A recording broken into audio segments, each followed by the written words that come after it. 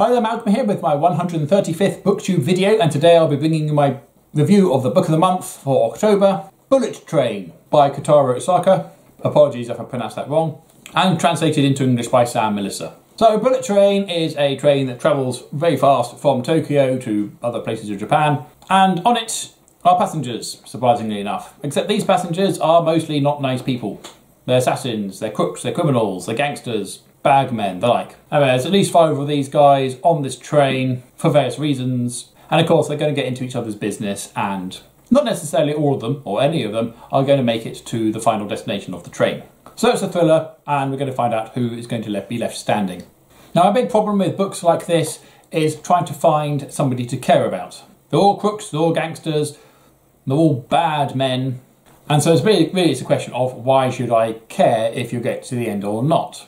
What's in it for me to invest in you as a character. And coupled with that, this is a translated book, and doesn't matter how good the, the, translations are, nuance is always lost in some capacity when a story is translated. And so possibly didn't help the fact that I did struggle to actually find anybody to latch onto in this story. So the main characters are Satoshi, or the Prince, a uh, precocious 14 year old little psychopath, Yuji Kimura, a recovering alcoholic whose son is in a coma, having been pushed off a roof by the teenager. Two heavies have just done a rescue job, rescuing the mafia boss's son from a kidnap situation, and they're known as Lemon and Tangerine. Lemon's really into Thomas and Friends and goes on and on about Thomas the Tank Engine and his various other compatriots, and Tangerine has to sit there and listen to him waffle on about Thomas and Friends. As well as the son that they have recovered, they've also recovered the bag of money that they went in as a ransom no intention to pay, but it was there to let them to get in and rescue him. So these two items there are supposed to return to the big boss. And then there's Nanao, who is set on the train with the express purpose of stealing this bag and getting off at the next station before the theft is been noticed. And these are the five that we follow through the story, jumping from one to the other. Not in any particular sequence, but where the story goes. And sometimes we do have a little bit of a time jump, you know, five minutes earlier from this point of view, and then off we go again. I mean, Kimura is the obvious likable character because it's his very young son who's in a coma in the hospital and he's on the train seeking revenge against this teenager. But the things he does and the way he does it doesn't make him particularly relatable or likable. Tangerine and Lemon are a little bit one dimensional. I mean, yes, they hold on about their interests. but as two characters, they are purely reactionary. And Nanao is just extremely unlucky to a slapstick level of mishap and misfortune and he certainly provides most of the entertainment along the way. The Prince has no likable qualities whatsoever. However, despite not liking anybody particularly, I did read the whole thing. I was kind of curious to know where this was going to go, and also curious to know how a train could have so many dead bodies piling up on it without anybody else noticing.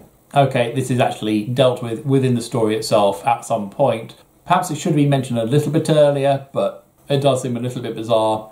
And there was another character that pops up who I thought was going to be a lot turn out to be a lot more than he was, and actually we don't really find out whether he is anything in particular or not.